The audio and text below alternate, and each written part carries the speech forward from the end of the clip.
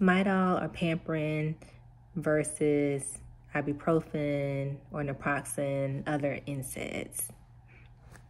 Like most things in medicine, there's no right or wrong answer. Okay, it all depends.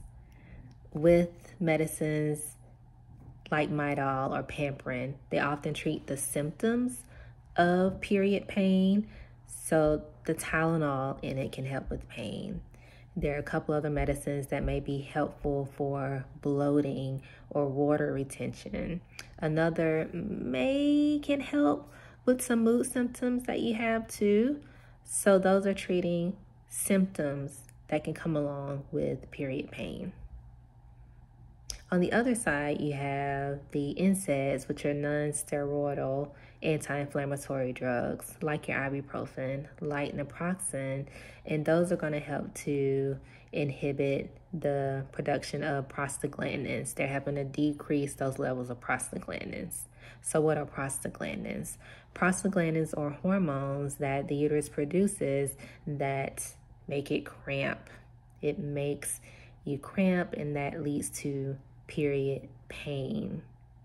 When the uterus is cramping, is working to get rid of the lining that it built up at the end of the month if there is no pregnancy. So that's what the uterus is doing.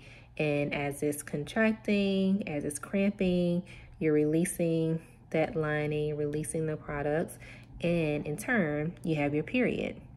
So which one can work best for you? You have to try and see for yourself whether treating the symptoms or decreasing prostaglandin levels themselves may work better for you.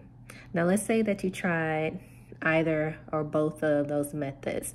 Let's say you've tried to adjust your diet, you work to increase exercise, you've even used like warm compresses, you use the heating pads to see if that can be helpful, but you're not getting the relief that you want that would be a time that you would need to reach out to your doctor, reach out to a physician, someone like myself, so that we can evaluate things further to make sure we're not missing anything. Or do we need to think about possibly hormonal therapy that can be helpful for you so that you're not missing out on your days, you're not missing work, you're not missing school because of the pain that comes with your periods every month. Hope that's been helpful. Subscribe to our YouTube channel and also join our email list below.